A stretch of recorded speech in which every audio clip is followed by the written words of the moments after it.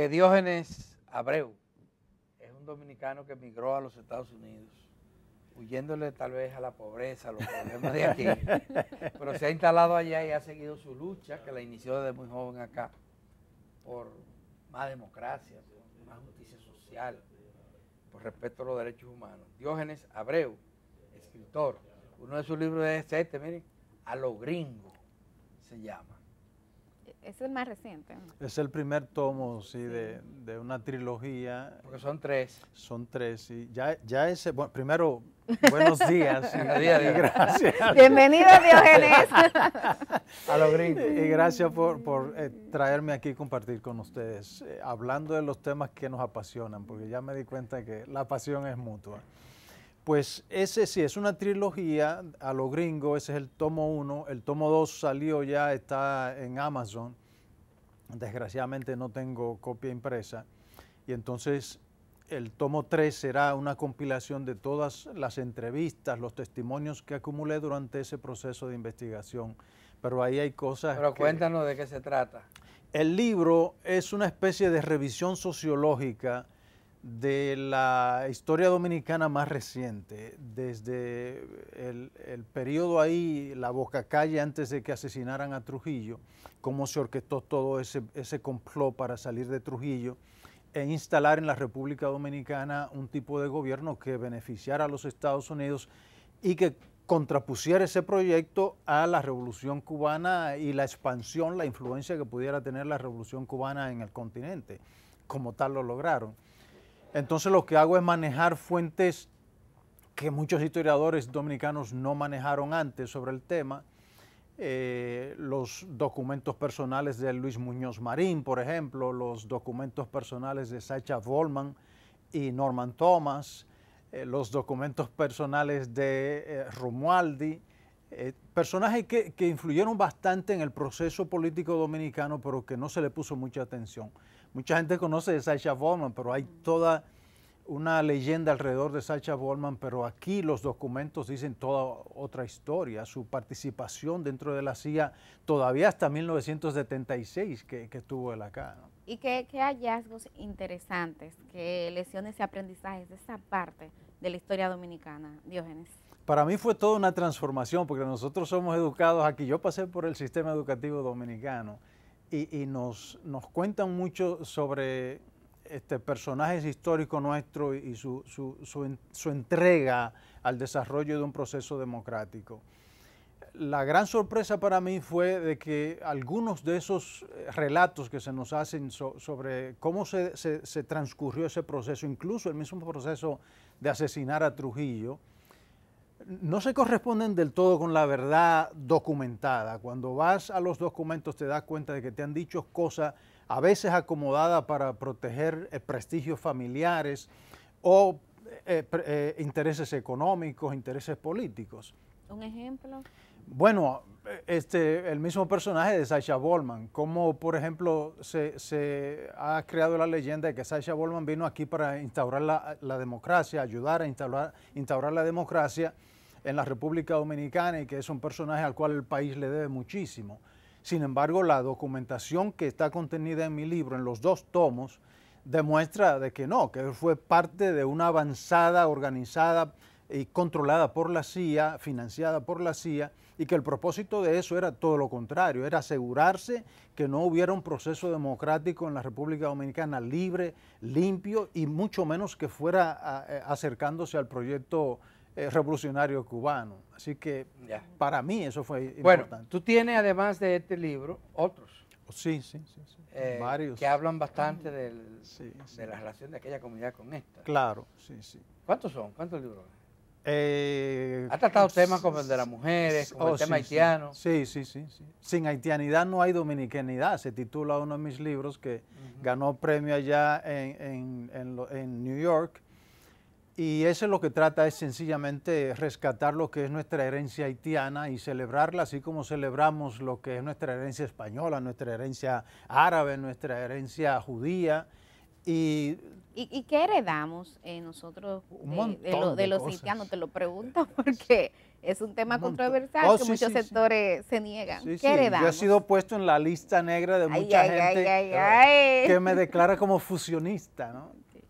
Pero bueno, eh, este, ahí está, el, por ejemplo, un mito que hay alrededor del bambulá eh, en Samaná es, es ese, de que eh, el, el- el bambulá y otras expresiones culturales nuestras que hay en esa región fueron traídas por los negros que emigraron de los Estados Unidos y que esos negros nada tienen que ver con la población haitiana.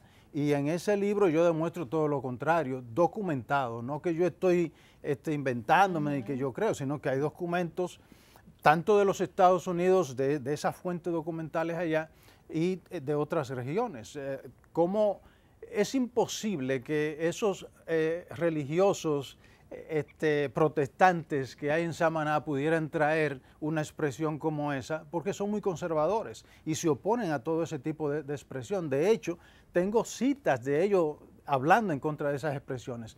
Entonces, todo lo contrario, tengo citas demostrando de que la presencia de la comunidad haitiana en, en lo que era, este, o lo que es New Orleans, y más en esa zona de, Congo, de Congo eh, Square, está fuertemente documentada ya el aporte que hizo esa comunidad haitiana dentro de la sociedad estadounidense y de las regiones donde vinieron muchos de esos negros de Samaná.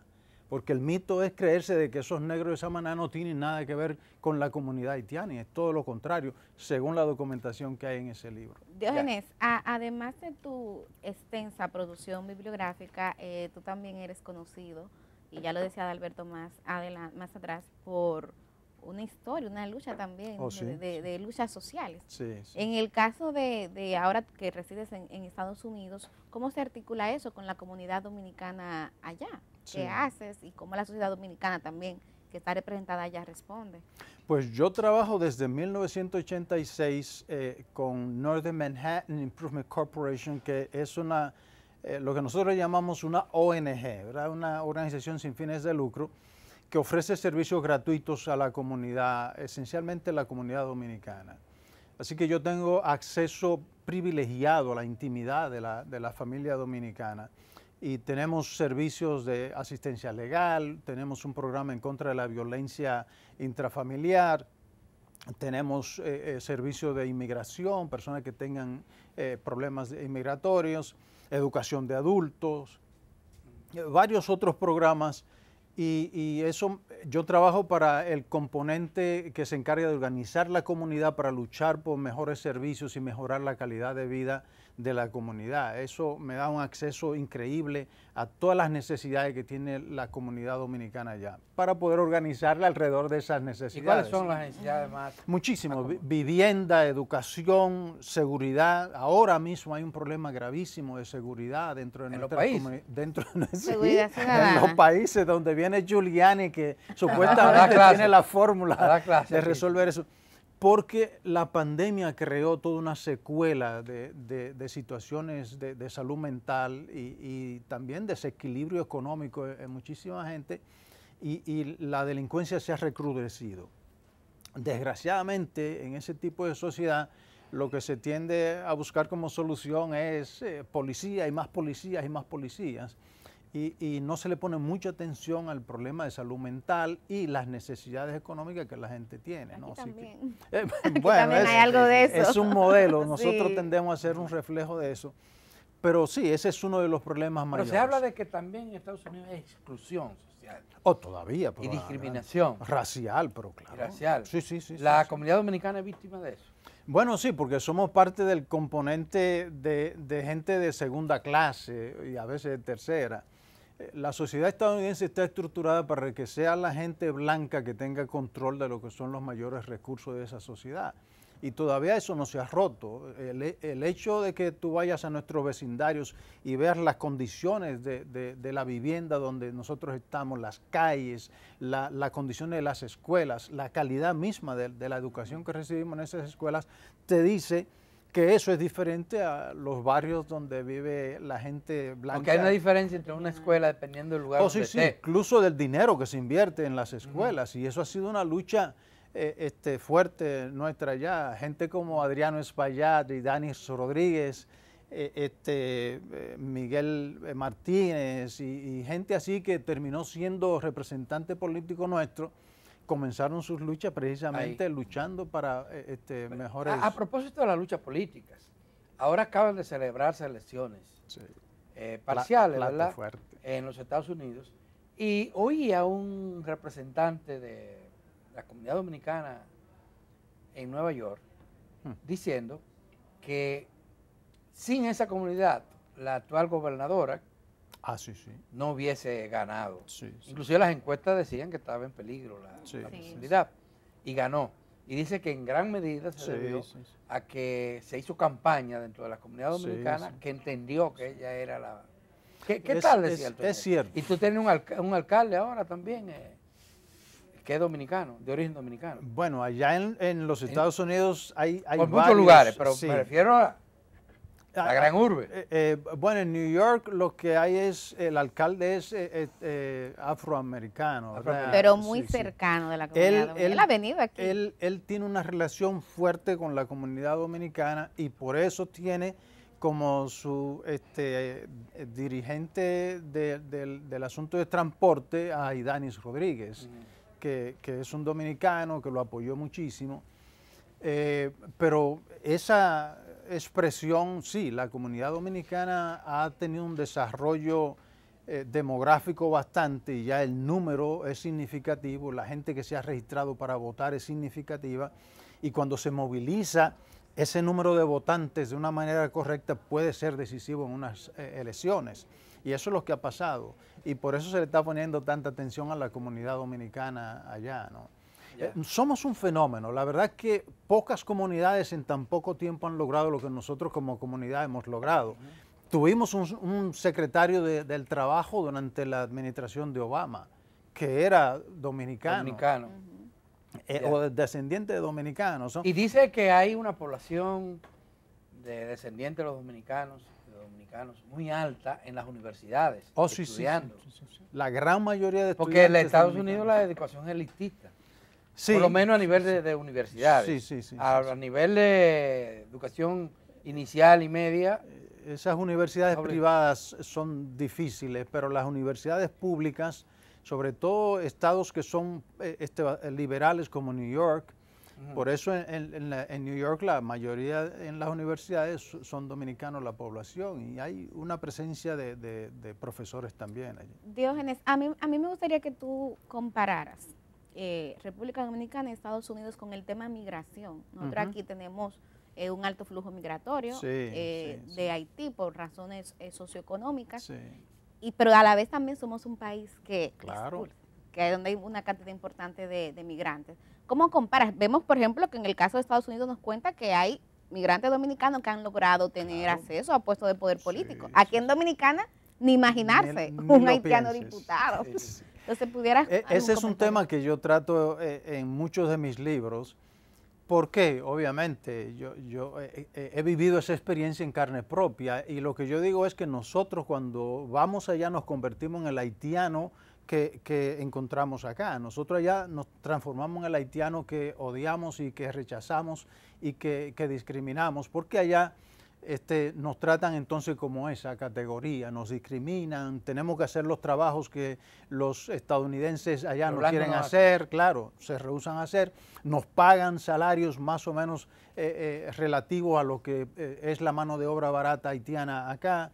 Entonces, nosotros peleamos por conquistas sociales, por respeto a nuestros derechos humanos y eso obviamente la, la población haitiana aquí tiene que hacerlo como inmigrantes y eso no quiere decir que nosotros ya nos queremos apoderar de los Estados Unidos ni queremos que quieren fusionar fusionar. los Estados Unidos con República Dominicana. Nosotros tenemos jueces, tenemos alcaldes, tenemos directores de precintos, tenemos eh, médicos en las más altas esferas de, de hospitales importantísimos allá, ¿no?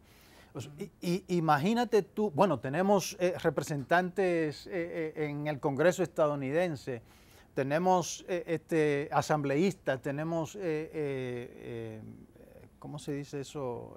Representantes de los órganos de representantes poder. políticos, sí. En los órganos de poder. Y, y- y yo creo que eso finalmente debe de entregársele a la población haitiana inmigrante. Y eso también. ayuda, eso ayuda a, a que se respete claro, los derechos de, lo- de- de por la supuesto, comunidad. Sí, sí, y a elaborarse a políticas elaborarse que políticas. beneficien bueno, a nuestra aquí comunidad. en, en la República Dominicana, de aquella reforma de 1994, se incorporó, por iniciativa de Peña Gómez, el derecho a la doble nacionalidad. Claro. Y de hecho, importante. muchos de los dominicanos que adquirieron la nacionalidad estadounidense también conservan la, la nuestra. Y eso soy Eso, yo eso uno es de ellos. importante.